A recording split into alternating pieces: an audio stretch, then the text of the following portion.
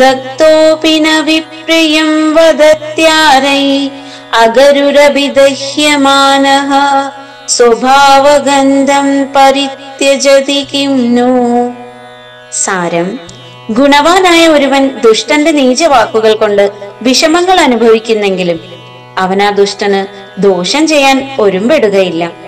അഖിൽ തീയിൽ ദഹിക്കുമ്പോഴും അത് അതിന്റെതായ വാസന വായുവിൽ പരത്തുക തന്നെയാണ് ചെയ്യുന്നത്. ശുഭരാത്രി സുഖനിദ്ര.